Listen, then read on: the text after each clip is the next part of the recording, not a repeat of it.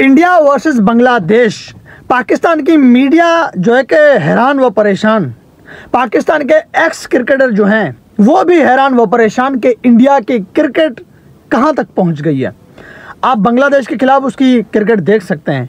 बांग्लादेश पाकिस्तान के खिलाफ आया था, किस तरह की बांग्लादेश ने क्रिकेट खेली और पाकिस्तान ने किस तरह की क्रिकेट खेली। फिर वही बांग्लादेश शेर बन के जब हिंदुस्तान में उतरा तो उसको बिली भी नहीं कह सकते। ऐसी हालत जो है कि बांग्लादेश की इंडिया ने कर रखी है। अब इंडिया की क्रिकेट और पाकिस्तान की क्रिकेट, ये बहुत लंबा फासला हो गया इनके दरमियान। ना कोई कंपैरिजन बनता है, ना कोई मवाजना बनता है। अगर कंपैरिजन या मवाजना कोई इंडिया की टीम से अगर पाकिस्तान का करोगे तो फिर वो बहुत बड़ा बेवकूफ़ होगा। ये हकीकत हो गई है।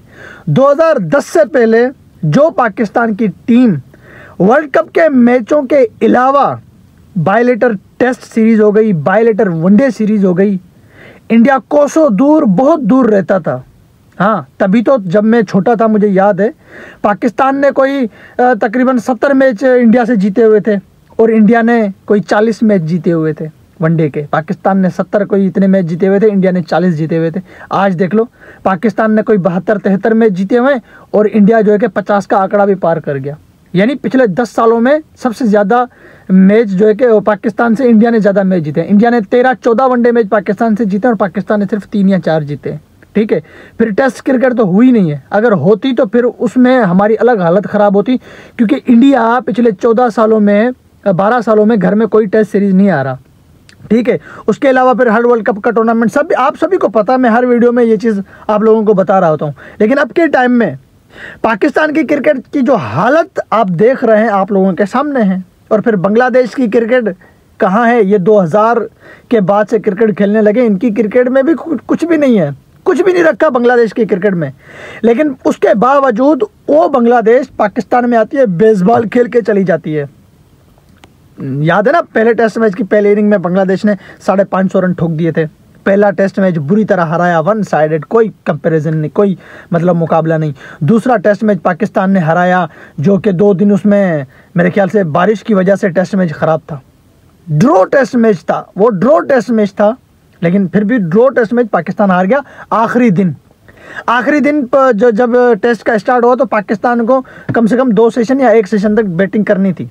और पाकिस्तान की टीम डेढ़ सौ के आसपास ऑल आउट हो गई और बांग्लादेश ने वो टारगेट जो है कि स्कोर बाहर कर दिया। पता नहीं डेढ़ सौ से करीब ऑल आउट हुई थी, पता नहीं सौ से पहले ऐसे ही कोई पाकिस्तान की टीम ऑल आउट हो गई। अपने घर में बांग्लादेश के सामने। और बांग्लादेश बब्बर शेर बना हुआ। आप पाकिस्तान और इंडिया की क्रिकेट को छोड़ें। आप बांग्लादेश की क्रिकेट को देखो कि बांग्लादेश की एक मरी हुई क्रिकेट है, वो पाकिस्तान में कैसी क्रिकेट खेल के गई है।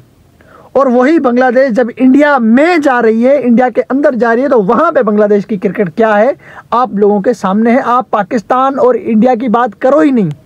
सोचो भी नहीं कि हमारा कोई कंपैरिजन ये 2022 का टी ट्वेंटी वर्ल्ड कप का फाइनल खेलने से हमारा कंपैरिजन नहीं हो सकता। या 2021 का सेमीफाइनल खेलने से हमारा कंपैरिजन नहीं हो सकता इंडिया से। ठीक है? लास्ट के दस सालों में आईसीसी का टूर्नामेंट उठा लो। पाकिस्तान ने वही जो है कि चार या पाँच नॉकआउट के मैच खेले। इंडिया तो हर टूर्नामेंट में खेल रहा है। पाकिस्तान ने चैंपियन ट्रॉफी का फाइनल खेला 2021 का सेमीफाइनल खेला 2022 का फाइनल खेला। और जो है कि 2000 जो है कि 12 में टी ट्वेंटी वर्ल्ड कप का पाकिस्तान ने सेमीफाइनल खेला था। यानी लास्ट के 14 सालों में पाकिस्तान ने आईसीसी के फाइनल सिर्फ़ दो ही खेले 2022 और 2017 बाकी कुछ भी नहीं है, कुछ भी नहीं है। इंडिया ने कितने फाइनल खेले? तीसरा वो फाइनल खेल रहे हैं डब्ल्यू का। तीन फाइनल ये हो गए।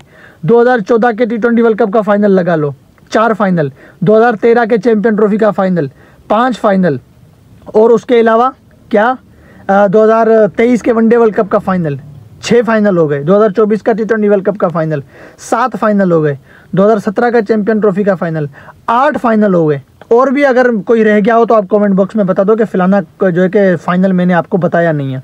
तो इंडिया लास्ट के जो है कि 2010 के बाद अब तक तकरीबन चौदह जो है कि आठ या नौ फाइनल खेल चुका है आईसीसी के, और पाकिस्तान सिर्फ़ दो। ये है ना पाकिस्तान की क्रिकेट लास्ट के जो जो है कि बारह तेरह सालों में, और फिर लास्ट के तीन साल डेढ़ साल अगर हम लगा लें तो इंडिया कहाँ तक पहुँचा और पाकिस्तान की हालत क्या है? तो मैं यही कहूँगा, आप पाकिस्तान की क्रिकेट को देखो ही ना, ये क्रिकेट मरी हुई है। आप इंडिया की क्रिकेट को देखो ही ना, वहाँ तक पहुँचना किसी के बस की बात नहीं है। आप ये देखो कि बांग्लादेश की क्रिकेट कहाँ है। एक मरी हुई, एक थकेली क्रिकेट ने पाकिस्तान को दौड़ा दौड़ा के मारा पाकिस्तान के अंदर। घर में घुस के जो है कि वो हमें तबाह करके चले गए। और बांग्लादेश बांग्लादेश की टीम इंडिया में गई है, उनकी कोई नहीं चल रही। अभी सात तारीख को है इंग्लैंड और पाकिस्तान का टेस्ट मैच। अभी इंग्लैंड जो है कि इंडिया में गई थी जयसवाल के से बेसबॉल खेल रहा था, एक ही सीरीज़ में दो डबल हंड्रेड ठोक दिए थे। याद है ना?